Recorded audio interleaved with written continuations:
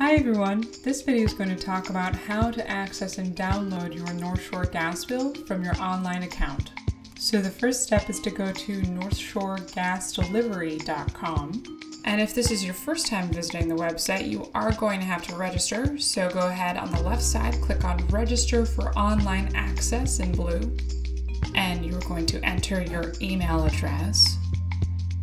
Now importantly, it notes at the top of the screen here, if you previously registered under a different email address, you may have to call customer service. So go ahead and call them if you have any issues, and that number, of course, is 1 866 556 6004. But if this is your first time registering, you can just go ahead and enter your email address here and click on Request Verification Code. So now you'll need to actually check that email and find the verification code that's been sent to you, enter that code into the form here. If you did not receive the code, you can click on Request a New Verification Code. But of course, you can always contact North Shore Gas if you're having any trouble. Now you can click on Continue to Step 2. Now you're going to want to enter your first and last name, as well as a password that you're going to remember.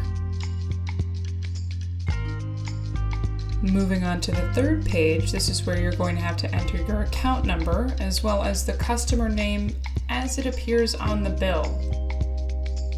So whoever the account holder is, it has to be that person's name and the last four digits of the account holder's social security number.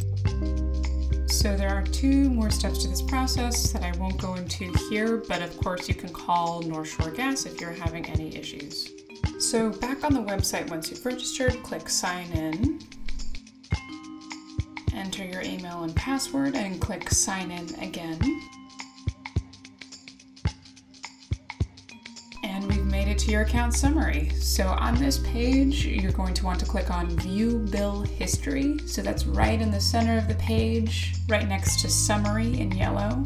And here's where you can access your current bill as well as your most recent bill. So all the bills are organized from most recent to least recent.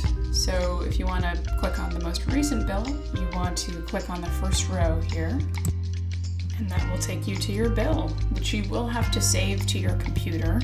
In the web browser I'm using here, I can do that by clicking on the floppy disk icon on the top right and it's a good idea to rename the file to something you'll remember and save it in a location you'll remember, which I did not do here, but that's a good practice. So again, any bills from the past year are all going to be located here. It's a good idea to periodically save your bills if you want to have a record past one year, as that is past what North Shore Gas saves to your online account.